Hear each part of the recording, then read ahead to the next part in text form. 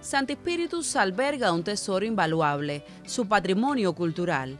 Este legado, compuesto tanto por bienes materiales como inmateriales, resulta fundamental para comprender nuestra historia, arraigar la identidad y transmitir conocimientos a las generaciones venideras. Nosotros contribuimos directamente con cursos que estamos haciendo, inclusive con cursos de verano que se hacen, que son cursos de conservación, que son cursos, por ejemplo, sobre la arqueología, que son cursos sobre la pintura, talleres de pinturas que se hacen para conocer los pintores eh, famosos que tenemos en, en Santi Espíritu.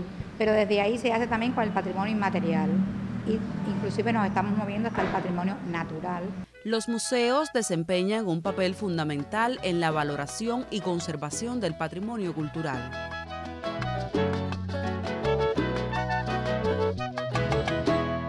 Los monumentos que se erigen en sitios históricos son un fiel recordatorio a la memoria colectiva y honran las luchas independentistas. En la parte de restauración estuvimos en el monumento local Protesta de Jarao y lo que hicimos fue resanar partes que tenía de pérdidas en ese hormigón y resaltar las letras de lo que dice la tarja que está en el monumento. Paso de las Amas sí hicimos una restauración porque es un relieve sobre la bandera cubana y allí sí trabajamos todo. Trabajamos el bronce, distintamente, el mármol y el bronce.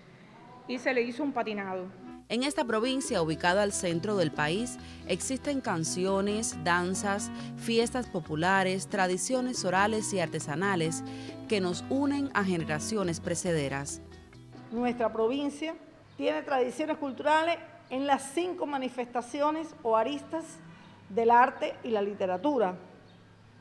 Eh, tenemos grupos portadores de tradiciones, tenemos unidades artísticas subvencionadas que forman parte de nuestro patrimonio cultural, musical, inmaterial.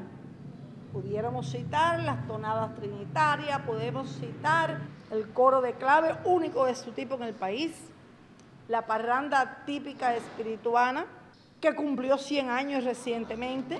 El patrimonio cultural ayuda a comprender quiénes somos y de dónde venimos. A través de su conservación se construye en Santi Spiritus un presente y futuro arraigado en lo más auténtico y genuino del territorio. Fue un reporte de Aileen Aymara López para el Noticiario en Marcha.